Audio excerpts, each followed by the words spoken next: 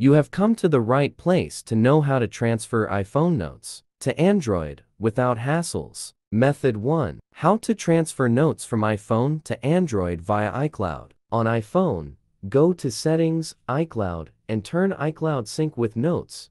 Click on Storage and Backup, Backup Now to backup notes from iPhone. On the computer, access iCloud account to see the notes that have been synced with iPhone. Method 2. How to transfer iPhone notes to Android via Outlook. Using a USB cable, connect iPhone to computer, open iTunes on computer, click on Info, which can be found in the Summary panel. Click on Sync Notes with and click on Outlook from the menu. Click on Sync. Method 3. How to share notes between iPhone and Android through Gmail. Open iPhone settings Apple ID Mail at Google account. View notes on Gmail via browser, Gmail app, or Android Mail. Method 4. How to share Apple Notes to Android via email. On iPhone, open Notes app and select Note to Send. Click on Share in the top right corner, then click on Mail. Enter email address in the To field and send email.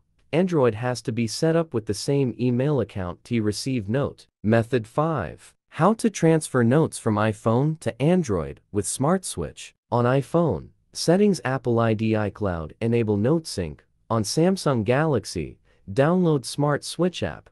Launch Smart Switch receive data iPhone or iPad get data from iCloud. Enter code select data import. Bonus tip. How to transfer data from iPhone to Android. Mobikin transfer for mobile gets down to business right away.